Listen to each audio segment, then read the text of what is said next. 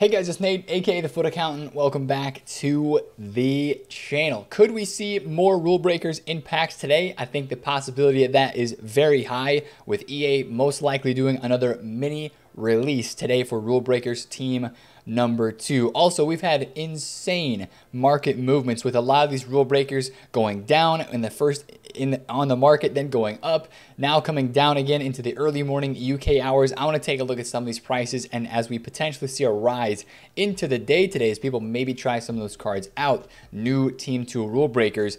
I just want to talk about all the market movements that happened yesterday on Friday and into today on Saturday on this game and what content to expect today on this game as well. It was a wild, wild day of Team 2 rule breakers being released onto the game yesterday with all of the cards that we expected to see because of the leaks earlier in the week basically confirmed. And I'll go through all the stuff that happened yesterday, but looking forward into today on Saturday, what can you expect? I think, again, one thing that you can expect is the mini release, right? We're talking about today, Saturday on this game. Last week was the first time we had a mini release on Saturday. As you guys know, EA's been doing the mini releases of three or four cards on the weekend, Saturday or Sunday. They had been doing it on Sundays, and last week they did it on Saturday. So Gundogan, Zakaria, and Barkhausen came out last week. Now, this week, I would imagine that it is today on Saturday as well. They're going to keep the trend the same, I guess. That would be one thing that I'd be watching out for today. Last week when they did it with these three cards, there was really no other content except for some promo packs in the store, and there might have been an objective, but uh, there really it was a pretty quiet Saturday, and I'm kind of expecting more of the same today, if I'm being completely honest. I do think that since we got all of the cards that were quote unquote leaked to be in Rule Breakers team number two, these, these this is a tweet from uh, from early on Thursday. Um, you know, you saw Bamba, Davies, Corona, Machis. All of these cards are correct. A couple names are left out though, right? Cornet, Klostermann. St. Maximin is another name that's been thrown around, not confirmed nor denied, but especially the Klostermann and the Cornet. Those are two names that we were expecting to see in Rule Breakers. We actually did not see them yet, so I'm wondering if they are going to be a part of the mini release that comes out today with Team 2. Now, of course, actually, in, interestingly enough, this team too was leaked earlier on in the week this week, right? We talked about that on last night's video. But of course, uh, EA leaked this team early themselves. Yesterday, about 30 minutes before content, this web page opened up with all the cards on it. So I'm going to link this web page down below. It's basically just the FIFA 22 Rule Breakers page. And I would not be surprised that under this Team 2, um, I guess you could call this tab, if there is the mini release players like Gundogan, Zakaria, and Barkhausen, if they are shown here early today on Saturday, you could keep your eye on that to see if EA kind of shows those cards a little bit early. But that, when we're looking forward into Saturday today, that is the kind of content that I'm expecting to seeing.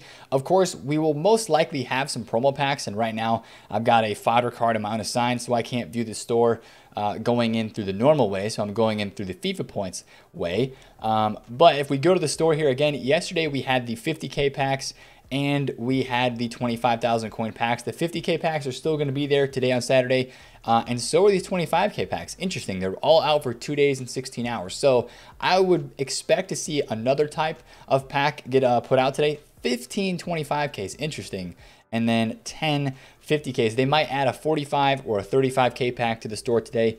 That is one thing that I would kind of expect to see.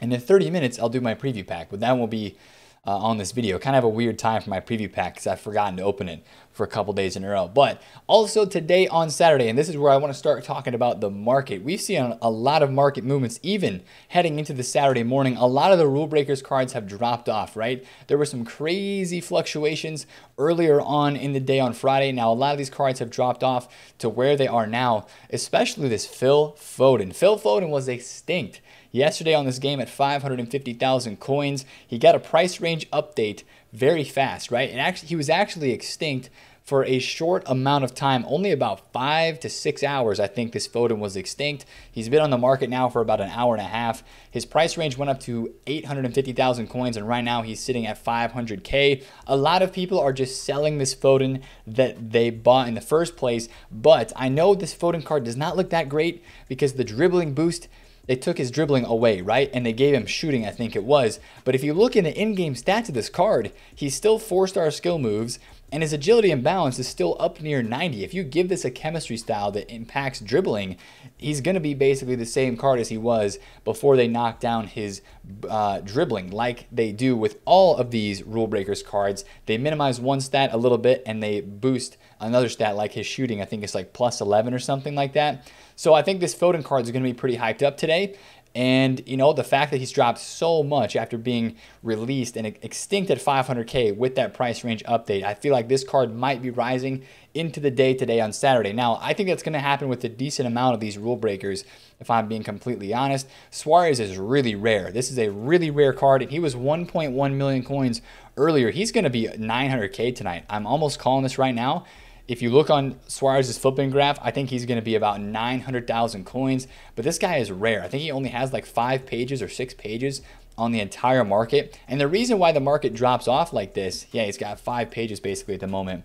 The reason why you see the market drop off like this uh, into the nighttime UK, into the early morning hours UK time, is because people play with these cards in FUT Champs and then they sell them, right? They get a lot of their games in on Friday, they sell their cards, they they open their rewards, get their packs, so you have a little bit of some late night supply and also just less demand because people there's not as many people on the game, so they're kind of listing these cards up. And since there's less demand, um, it kind of drops the prices lower, right? We're even seeing it on Inform Vinicius at the moment. I bought an Inform Vinny Jr. earlier today, just under 500K because he was really low, and right now he's 445. Now, I think this Inform was overpriced to begin with, but just huge drop offs on the market in general on a lot of these brand new promo cards. Anything that was in packs yesterday, of course, had a nice dip in price uh, on this game. I do think that you will see, again, some of these rule breakers from Team 2 rise up into today on Saturday. You'll probably have them hit a valley tonight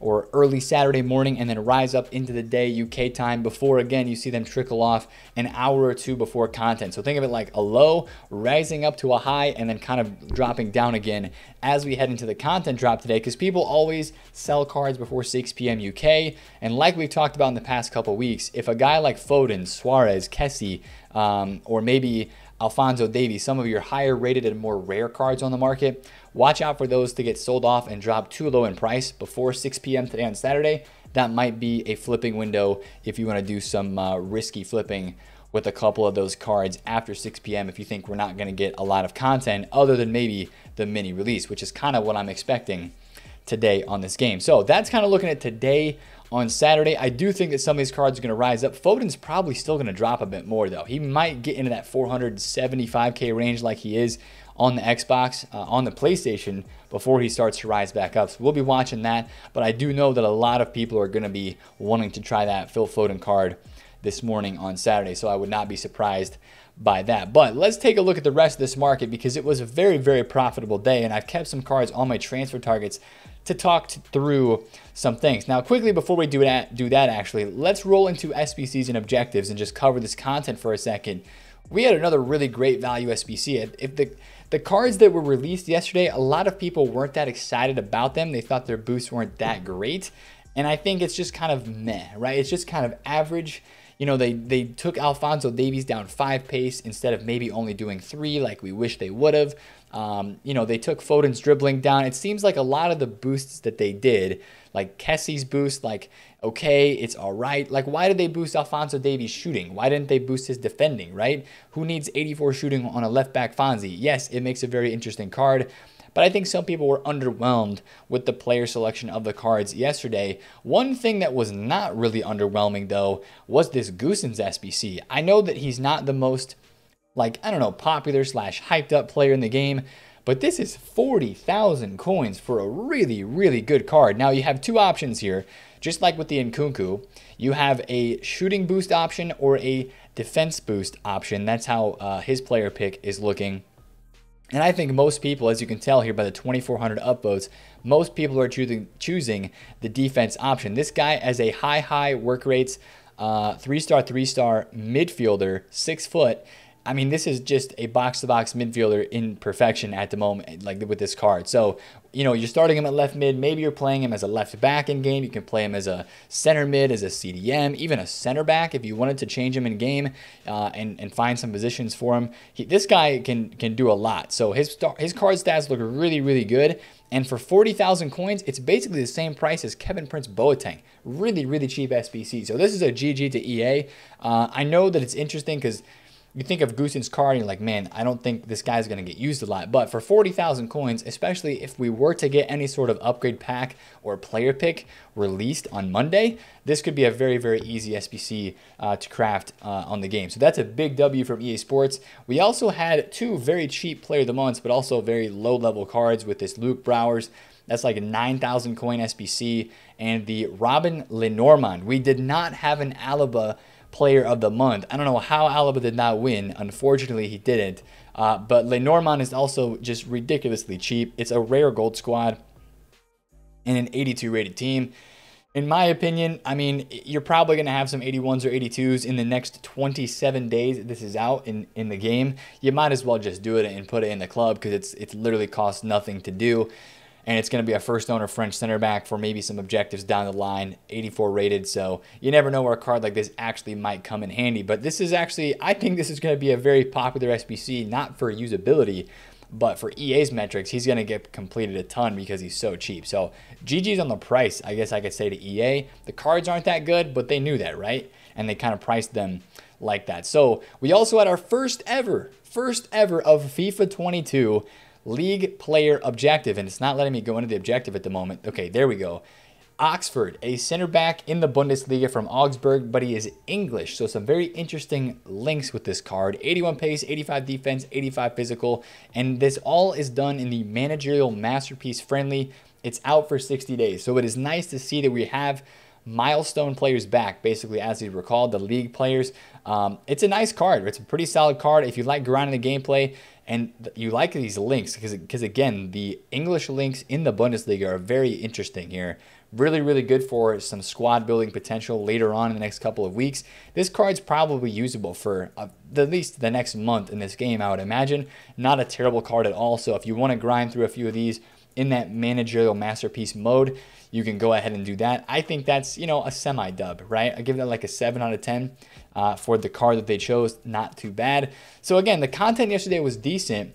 But I think the reason why you saw a lot of icons, especially a lot of other out of pack specials, really round rebound back on the market yesterday. I bought a Cordoba at 470,000 coins, sold it for 527. You saw a lot of stuff really rebound, right? I bought a Hugo Sanchez at 615,000 coins, sold it at 667 or 660 or something like that. Now the Corona links helped this Sanchez a lot. Uh, but you just saw a lot of the stuff that was already in the game bounced back pretty well. And I think you saw that because just the cards that were released yesterday, a lot of people said, hmm, these cards that are released or this SBC or this objective really doesn't fit my team that well. So I'm going to go out and instead just buy the cards back that I had previously. Abedi Pele was like 880,000 coins. I think he went all the way up to about 950 where he's kind of cooled off a little bit now. So there was plenty of ways to make coins yesterday as we did for sure on the game. Now, one of the things I have to talk about as well is the first hour fluctuations of some of these brand new cars. Now, the only car that I bought first hour was a Kulusevski. I bought this at 170K, sold it at 186. Uh, and now Kulusevski obviously is like under 100,000 coins. A lot of these cards had incredibly insane fluctuations in the first hour of the day yesterday. Now, a lot of this was artificial, I'll be completely honest. This has become one of the more popular trading methods on the first hour of a promo this year, especially this year in FIFA, but it's become so popular that so many people are recommending doing it. So many people are losing coins because they're blindly following these groups, these trading groups. You know, thousands of people sometimes are listening to one person or a couple people make a buy call on their inside of their group. This Corona Brand new card yesterday came out. We had basically, if you remember, the Road to the Knockouts ESOC from a couple weeks ago. This Corona started off at 100,000 coins. The FUTBIN graph doesn't even show it. He started off in the first 15 minutes on the market at about 100K. His price exploded. In the next half an hour, he went from 100,000 coins to 190K. This card is not near anywhere near worth 190,000 coins. I know he's five star, five star. I know he's got good stats, but he is really hard to link. The only card that provides like an easy link to him that is really good in this game is the Manafa card and the Manafa Road to the Knockouts. And that card is extinct on the market at the moment because so many people wanted to go out and try. Uh, yeah, extinct at 40k, 55k on the Xbox because people wanted to go out and try Tecatito uh, yesterday. But there were so many fluctuations like that Corona. Uh, another one was Bamba. Bamba went from uh, 300,000 coins down to 200, went back to 238 now is back down to 200,000 coins. There were multiple examples yesterday of a lot of people, uh, a lot of actual like traders and investing groups impacting the market. And if you get lucky and if you can time that really well and pick the right card, then you can make a lot of profit, right? After Corona went from 100K to 180 to 190, back down to 95. I snagged this one at 95K, sold it at 116. I bought this Bamba at 200, sold it at 238. Um, so this Kessie card I didn't make any coins on. He did go up a little bit later. He went from 250 where I bought him at. I thought he was going to go to like 280. He didn't. He went back down to 220, then went to 270. Like it's crazy. These fluctuations on these brand new cards are insane. And it, it's definitely not all natural because in previous years in this game, you would have the first hour fluctuation because some of that used to be natural, right?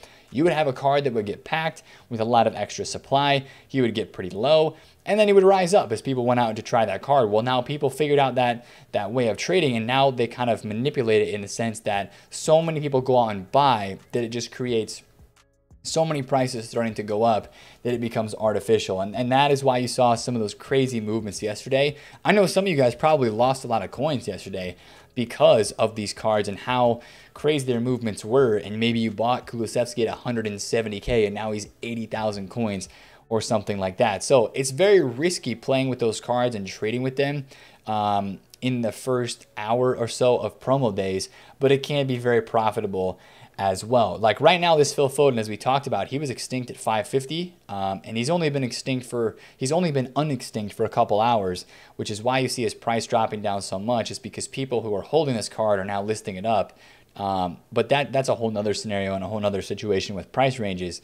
Uh, but again, the rule breaker cards were just absolutely mental yesterday in price. Now, one thing I want to talk about too is the other rule breakers. Team one of rule breakers. Actually, yesterday these these prices have chilled out a little bit, but yesterday what you saw was when Team Two was released and shown on the EA page, and we were like, okay, this team's not that great people went out and they started buying cards off the market, including some of these Team 1 rule breakers. Haaland went from 585,000 coins. I was able to snag one right here at 579, I think. He went all the way up to 637, which I sold mine at 630, and he's been chilling above 600,000 coins. Now he's dropped off a little bit into the nighttime, but he was up over 630k. The same thing happened with Ousmane Dembele, right? Ousmane Dembele was down at 760 he rebounded up to actually 820, 830K and is now back down just under 800. But these cards went out uh, of packs and people bought them up. And Team of the Week 7 had some, uh, some of its own insane market movements. This Vinicius Jr. inform right now is on a roller coaster ride and is going downward. Take a look at this. He was 600K, dropped all the way down to 500, rebounded back up to about five. He actually was about 540, 550. And then overnight tonight, he has been getting destroyed in price. He's down 50K from his lowest point yesterday to 455. Now, I, I thought this Vinny Jr. inform was overpriced the entire time um, compared to his first inform. And now I think some of that supply from today's promo packs, yesterday's promo packs, are starting to catch up with him. But uh, I think this has one more bounce back left in him, as he is again one of the most popular cards in this game. He is never outside of like the top five or six most popular cards up here on the FUTBIN page, just because this Vinny has so much hype at the moment. Now, I want to talk about SBC fodder because that's an interesting point too. I was hoping that fodder would drop off a lot, and we mentioned buying fodder this weekend at some point it's really not dropped off that much. Take a look at Tiago, 10,000 coins. That's only a slight drop off, right? He was 13K on Tuesday after the Hero SBC. Now he's down to about 10K. I was hoping that we would get these 86s into like the, the 8K range, right? I wasn't expecting them to go back down to like 7K, but I was hoping to like, you see, you know, 8,800, 9,000 coins. And these cards really haven't dropped off that much. Uh, I, I hope that we don't have any SBCs today on Saturday so that this fodder drops down a little bit lower on Saturday, maybe into Sunday, and then we have another opportunity to look at some of these SBC cards. Uh, let me take a look at 88s really quick. Toni Kroos, 21,000 coins. He was 23 at his max. That's really not enough of a drop off, right? I think there were people that were buying up SBC fodder because they were told to. And again, I'm not I'm not really going to say go out and buy this because it's not it's really not cheap enough yet. Hopefully it goes a little bit cheaper today. Um, and then we'll potentially look at doing some of that type of buying or a club stock maybe of some of those cards uh, in our clubs for potential SBCs that could be coming out later this week. So that would be one thing I'll be looking into at the moment right now are those fodder cards, watching their prices today on Saturday. And again, watching the rest of the market, right? I'm not expecting really big content today on Saturday. I mean, trading with icons probably going to be a solid way to continue to make coins. This um, Michael Owen was what is he 540k, 540 at the moment. He was uh, 480 at his lowest. You look at some of these prices from where they were. These prices are all from pre 6 p.m. content drop. Del Piero was 1.1 mil. He's now in the 1.1 highs. This Carlos Alberto was 620k. He is now back to 690 almost 700,000 coins. There were a lot of price rises yesterday, like this Blanc was 730. Now he's what, high 700s? Again, since the promo yesterday just did not live up to the hype as a lot of people were expecting it to, um, I think that's why you saw a lot of the rest of the market rebound back up. Even golds, really quickly taking a look at a couple of gold cards.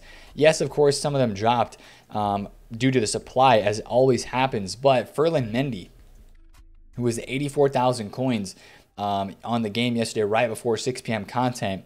I, I, specifically said in the video yesterday you could buy this Ferland or sell the Ferland before the content drop. He was 85k, uh, and then buy him back during the pack supply. And I'm pretty sure that Ferland Mendy only went back down to like 79, 78,000 coins. So we didn't have a huge drop from the stuff that was in packs. Only some cards have gotten kind of low tonight, like Gold Son he is kind of low at the moment. He's about 125. So um, but that might have been an undercut as well. Yeah, it looks like it was. He's about 130. So, you know, watch some cards into this morning on Saturday. You might see a few of the golds rise back up. You're definitely going to see some of the rule breakers rise back up. That's what I'm keeping an eye on at the moment. I'm kind of watching the Suarez, kind of watching the Phil Foden. Again, rarity. Rarity is key when it comes to flipping some of these cards uh, from, you know, a 12 hour period into the morning. So I'm trying to get this Suarez in the low 900 range, and I think if I can snag a Foden at like 480, Foden at 480 would be really, really cheap. So again, this is really risky stuff because with the way the supply and the way the market is this year, you, you never know. So Foden right now is kind of chilling at 500, but I think we're going to get some undercuts here. Hopefully, if that is sitting, 494 is sitting. So we'll see if Foden drops below like 490, 480, and then we'll see where he goes into the daytime. This is some of the risky trading, but it's so much fun uh, to do this on this game. 487. That's probably get. Oh, it's sitting really interesting. So I'm gonna watch that card and see if it rises up a bit into the daytime today on Saturday. But a very interesting day. Again, Saturday today, I'm expecting some new promo packs added to the store. It's probably not going to drop prices that much, but it might cause some 6 p.m., I guess you could say, sell off as we normally have. So watch the high tier cards for maybe a sell off pre 1 p.m. or pre 6 p.m. UK and then a bounce back and watch out for the mini release to be shown today. One thing really fast, I didn't talk about this in yesterday's video. If we were to get a preview pack, this preview pack was added to the code 581 to 86 rated rare uh, players preview pack. That would be a preview pack everybody would get to open and that would supply fodder onto the market and that would make fodder drop. So if this does get released today, that could be interesting as well. It was not released as a part of the content yesterday on the game, but it is in the code, so it can be released whenever. So that seems to be maybe a tool from EA. They can, you know, provide some fodder supply if uh, they would want to, because of course it's a preview pack, so it's basically free for anybody to open. And then if you get something good, then you decide if you want to buy it. So that's the video for today, boys. If you did enjoy, smash a thumbs up on it. Comment down below if you have any questions and subscribe if you're new. It's been Nate FUT Account, and I will catch you guys later. Peace.